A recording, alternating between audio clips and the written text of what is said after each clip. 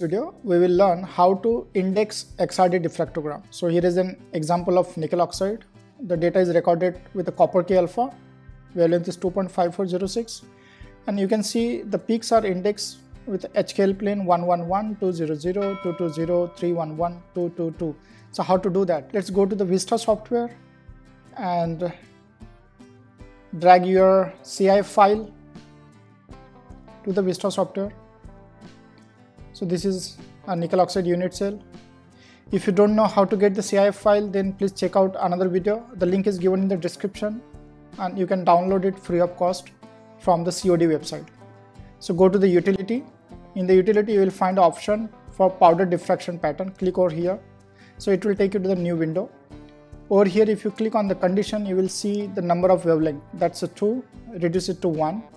And then you can go to the calculate and just hit this button so it will generate a reflection list as well as a plot.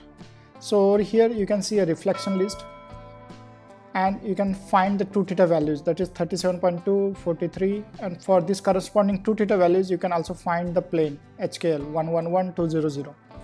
If you need this table you can go and click on the file export reflection table and just click over here save it to your desired folder so over here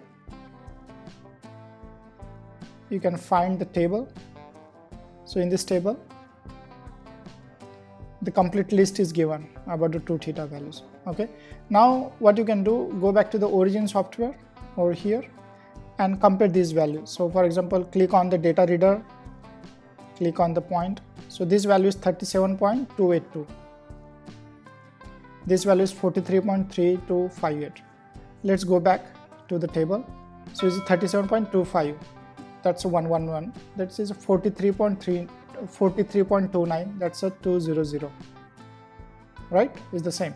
So over here if you click you can find that's 62.908 so it's a 62 point is close to this value. That's a 220 plane so this way if you have a CIF file and XRD diffractogram just use a VESTA software and create a simulated XRD diffractogram and from that you can get the HKL value and that can help you to index your XRD diffractogram. I hope through this video you learn how quickly you can find out the HKL plane of your XRD diffractogram. Do like, share and subscribe and press the bell icon button